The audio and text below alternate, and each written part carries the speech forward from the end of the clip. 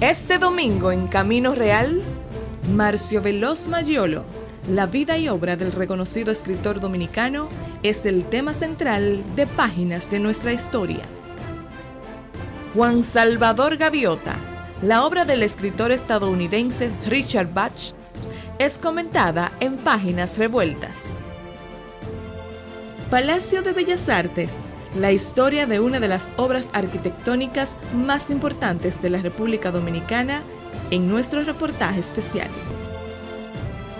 Camino Real con Rubén Jiménez Vichara, este y todos los domingos a las 8 de la noche por nuestro canal de YouTube.